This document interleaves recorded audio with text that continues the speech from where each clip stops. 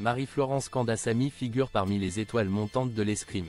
Elle est d'ailleurs parvenue à faire parler d'elle lors des Jeux Olympiques de Paris 2024. En se qualifiant pour la finale d'épée par équipe, en compagnie des Oriane Malo-Breton, Coraline Vitalis et Alexandra Louis-Marie.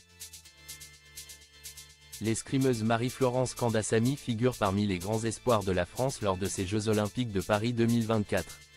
Âgée de 33 ans, elle s'est illustrée dès son plus jeune âge en rejoignant le club du Paris Université Club à l'âge de 7 ans. Sa passion pour l'escrime s'est rapidement transformée en une carrière professionnelle.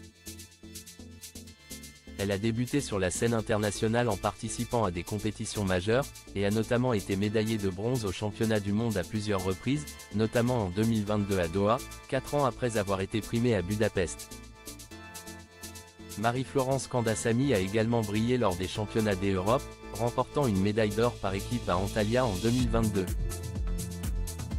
En France, elle a accumulé pas moins de 15 titres de championne nationale, consolidant ainsi sa place parmi les meilleures escrimeuses du pays.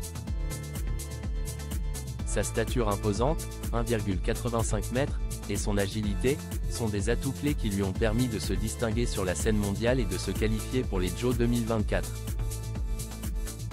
Marie-Florence Candassamy en route pour la finale des Jeux 2024. Lors des Jeux Olympiques de Paris 2024, Marie-Florence Candassamy a marqué les esprits en se qualifiant pour la finale d'épée par équipe. Cette performance garantit déjà une médaille pour le groupe féminin d'escrime français, composé d'Eoriane Malo-Breton, Coraline Vitalis et Alexandra Louis-Marie. Néanmoins, le plus gros n'a pas été fait.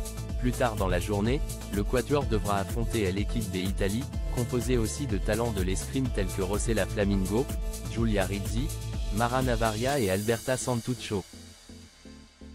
A voir désormais si cette équipe tricolore parviendra à tirer son épingle du jeu, comme Manon Apiti Brunel a fait quelques heures plus tôt.